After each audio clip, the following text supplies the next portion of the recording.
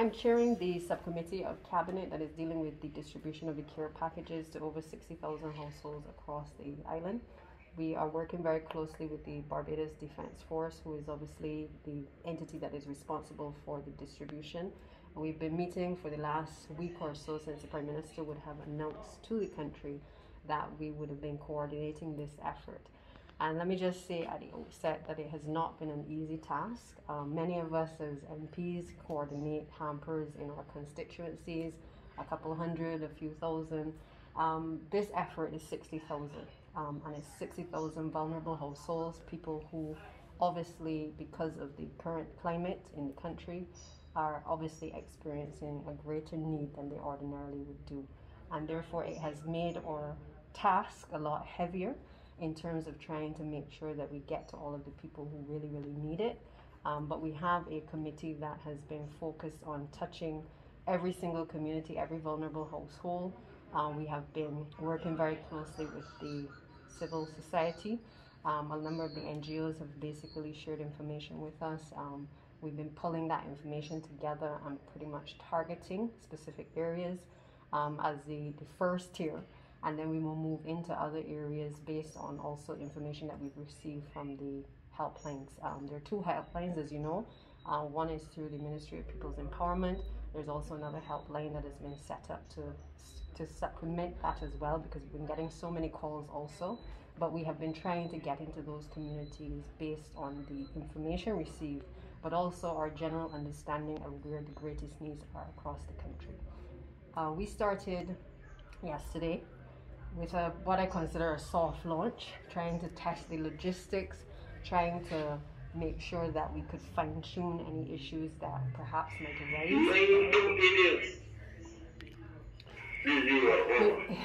um, we recognize that um, obviously we had to make sure that we had sufficient manpower, sufficient vehicles, that all of the items that we were either expecting to be delivered or the items that were due to come into the country that we had to you know coordinate that effort to make sure that we had everything. We have been using um, two bases at present. The hope is that we will start to expand additional bases once we have fine-tuned this first one here at queens college. But the intention is that we will set up areas that we are able to make the distribution process a lot easier. And um, base here um, is pretty much an operating base that is uh, facilitating the packaging of items just as we're having at the um, B BDF. BDF. We also have um, the Barbados Agricultural Development Marketing Corporation. They have various locations as well where we have a number of persons who are packaging um, and working very hard as well to be able to support the effort. So we have to combine all of the goods, whether it's dry goods, whether it is household supplies, uh, whether it is vegetables and fruits. We're trying to coordinate everything so that people have a pretty much balanced basket of goods um, being made available to them. We've had a few teething issues at first, as you can appreciate, because neither neither of us um, involved, none, no one involved in this process rather, has been ever involved in something of this magnitude. Um, but we've been again meeting and we've been fine tuning the processes, and I believe that we are a bit closer now to be able being able to roll out over the next couple of days a ramping up of the resources across the country um, so that we can get these items into the households of the persons who are in greatest need.